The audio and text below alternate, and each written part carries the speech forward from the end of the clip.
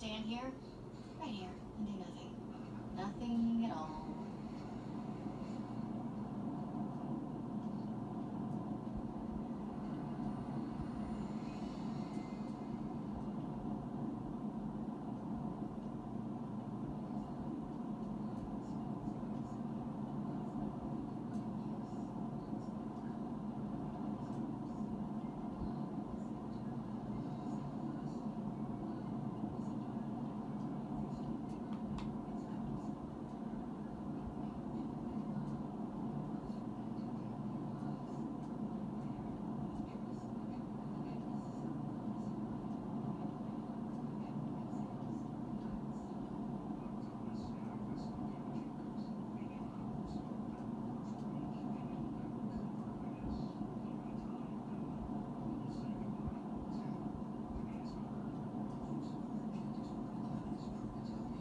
over how real fake Steelport looks.